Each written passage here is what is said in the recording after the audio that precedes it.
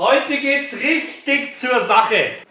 Wir haben heute ein sowas von saftigen Umbau vor und ein bodenlos gepflegtes E-Bike. Ah, das schauen wir uns an. Cube Stereo TM. Ah. Die Kette ist einfach komplett hinüber. Der komplette Antrieb ist hinüber. Schaut euch diese Schande an. Um dieses schöne Bike geht's heute. Ja gut, schön ist hier nicht mehr viel. Um den Kunden etwas zu verteidigen. Warum sieht das Fahrrad so miserabel aus? Wir gucken es uns gleich noch im Detail an. Der Kunde ist natürlich hier, du siehst überall noch, richtig schön im Salz gefahren. Dem Kunden war aber schon klar, dass er das Ganze komplett umbauen lassen will bei mir. Und deshalb hat er dann gesagt, ich habe überhaupt keine Lust, da noch irgendwie Zeit reinzustecken, hat es einfach in die Garage gestellt und dann war gut. Das passiert, wenn man das Ding nicht pflegt. Genau, was machen wir heute? Wir werden das Ding komplett umbauen. Ich zeige euch gleich noch, welche Teile reinkommen. Und ich denke, es wird ein zweiteiliges Video. Ja, viel Spaß. Let's go!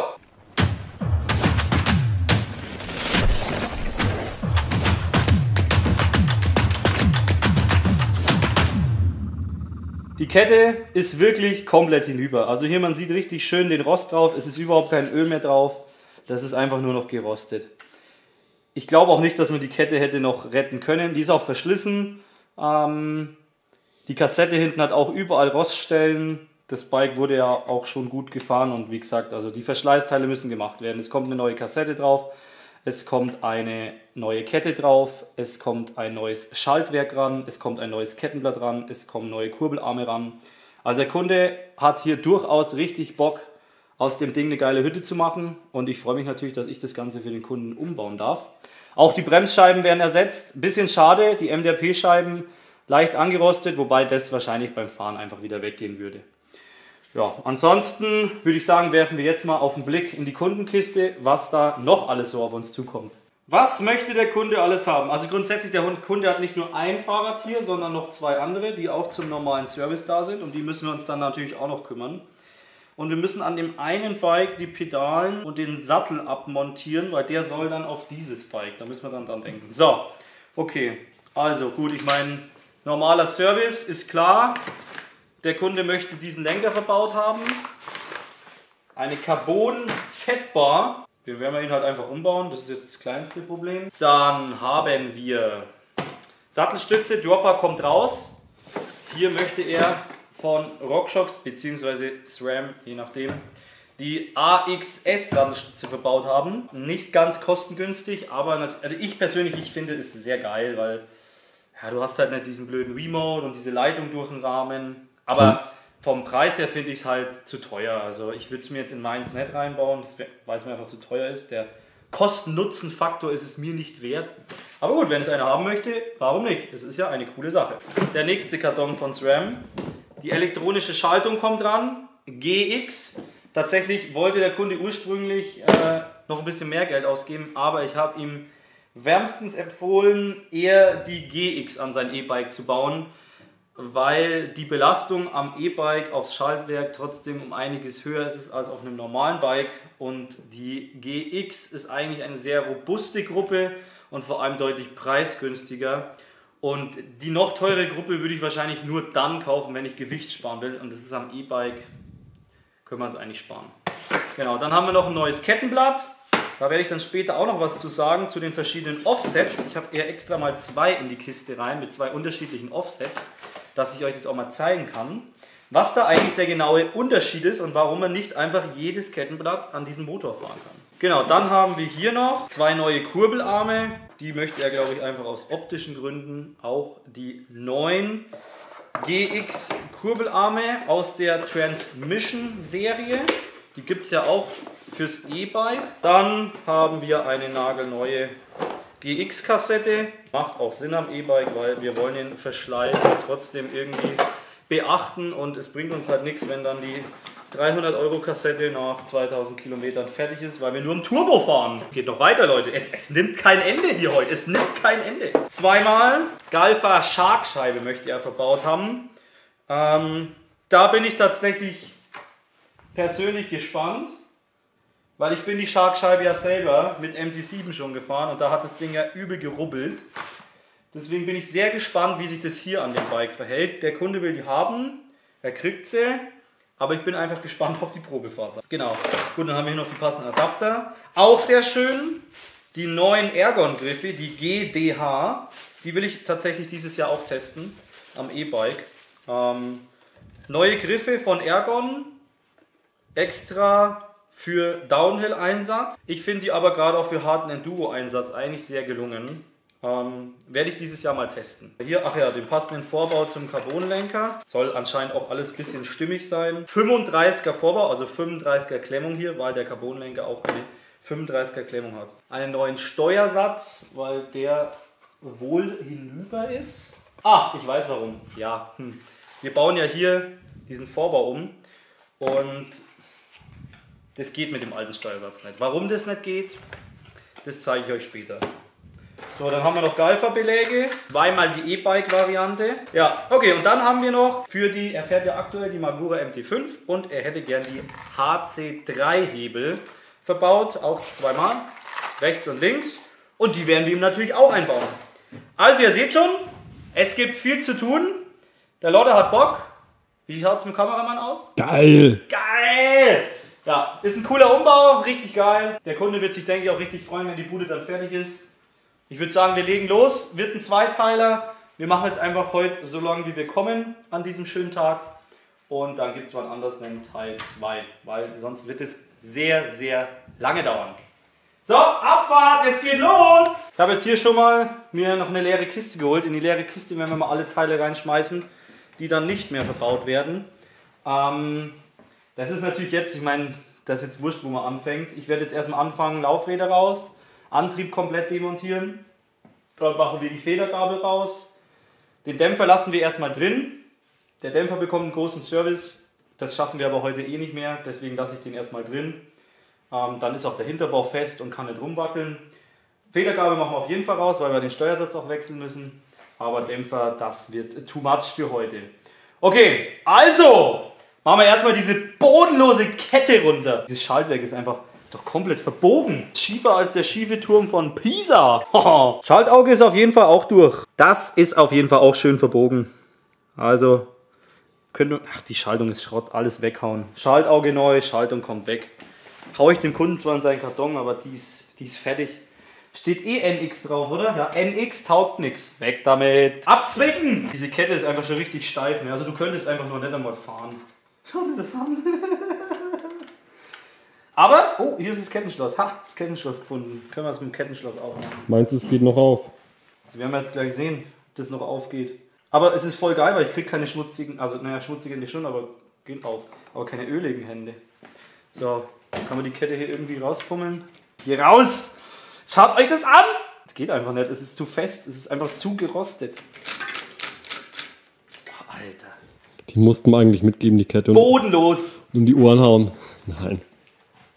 Da habe ich tatsächlich mit dem Kunden vereinbart, dass wir die Hülle nicht demontieren. Er kriegt ja elektronische Schaltung, also würde man sich das hier schenken. Aber wir sind so verblieben, dass ich versuchen werde, die hier ein bisschen unter diesen Gummi zu machen. Und dadurch, dass es ja ein E-Bike ist, wir haben hier innen relativ viel Platz und auch noch einen zusätzlichen Führungskanal für ein Lichtkabel.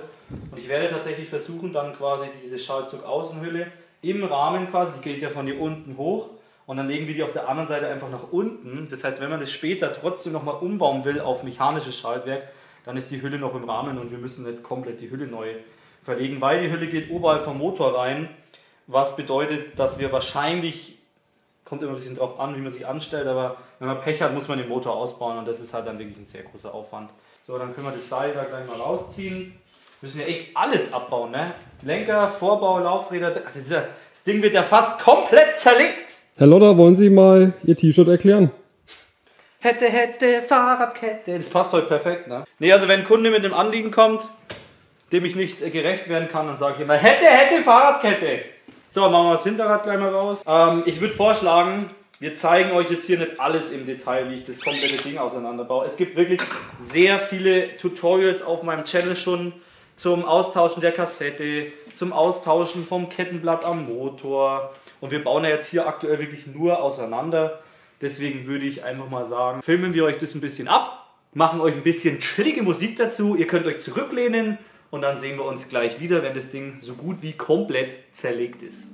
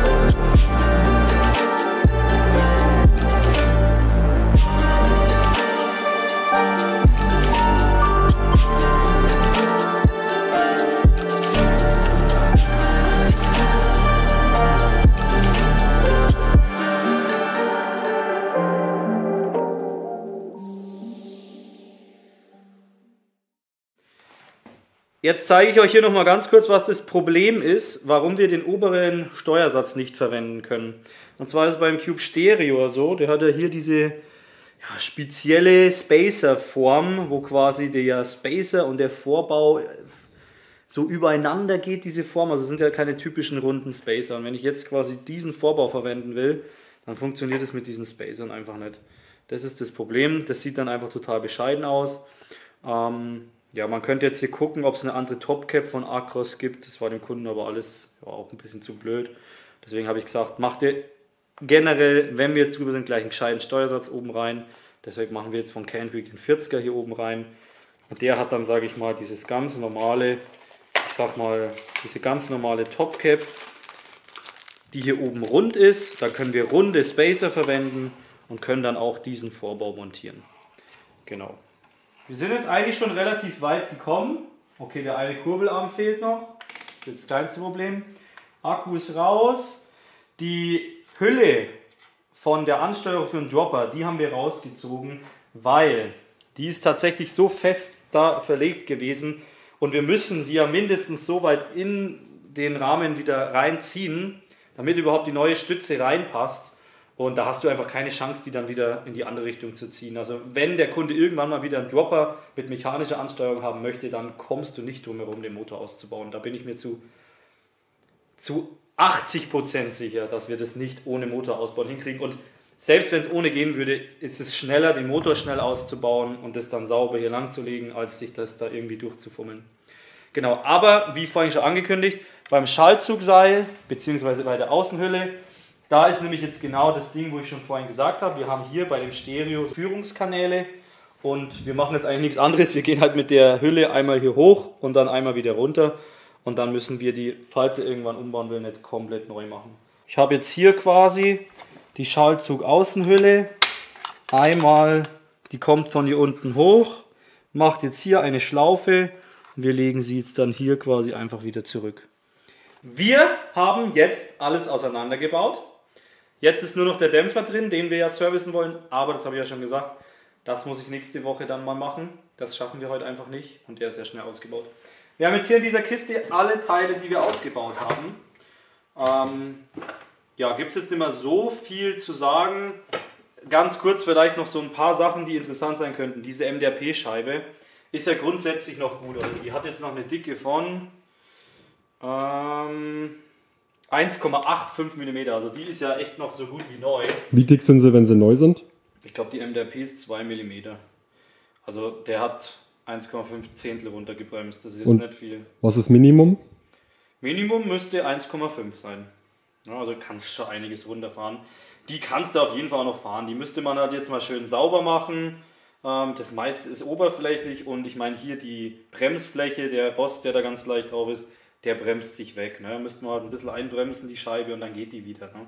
Also die kann man auf jeden Fall noch fahren. Und auch ansonsten, ich meine, der Lenker ist ja jetzt auch nicht schlecht. Ähm, die Sattelstütze funktioniert. Ähm, gut, den Steuersatz, den müssen wir jetzt noch auspressen. Da, das können wir euch vielleicht noch zeigen. Aber ansonsten so Sachen wie die Kassette, die ist fertig. Auch die Kette, ihr habt es gesehen, Feierabend. Also komplett einmal neu machen. Ne? Genau. Jo, auch hier jetzt. Wir fangen jetzt dann auch mal an, alles noch ein sauber zu machen. Hier die Aufnahme vom XD-Freilauf sauber machen, die Aufnahmen für die Sechsloch-Bremsscheibe, Steuersatz reinigen, allgemein jetzt, wenn der Rahmen so zerlegt ist, mal ein bisschen sauber machen, wenn wir jetzt eh schon drüber sind. Laufräder auf jeden Fall mal in Zentrierständer einspannen und nachzentrieren. Ich meine, das Bike ist ja auch zum normalen Service da, also sollte auch dann, die Laufräder sollten dann auch wieder in Ordnung sein. Und dann können wir eigentlich mit der Montage der Neuteile beginnen. Und ich würde aber sagen, das wird einfach zu viel für dieses Video. Wir machen einen Teil 2. Der dürfte dann eigentlich auch relativ zeitnah kommen. Da wünsche ich euch auf jeden Fall schon mal jetzt viel Spaß. Wir werden den jetzt noch drehen. Und ja, also ich werde versuchen quasi Freitag, also je nachdem wann ihr es anschaut, aber eine Woche später kommt dann Teil 2, dass die Lücke nicht zu groß ist. Okay, damit vielen Dank fürs Zuschauen. Und jetzt halt noch ganz kurz Steuersatz auspressen und dann ist Feierabend für das Video. Dazu brauchen wir dieses Gerät. Können wir jetzt einfach hier einmal reinstecken. Da muss man auch gucken, ja nicht auf den Carbon schlagen, nur auf die Schale. Das war's schon.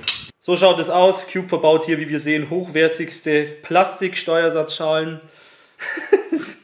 ja, was soll ich dazu sagen? Ne? Könnt ihr mal in die Kommentare schreiben, was ihr von dieser Plastikschale haltet. Okay, Feierabend. Vielen Dank fürs Zuschauen. Macht es gut. Bis zum nächsten Video. Tschüss.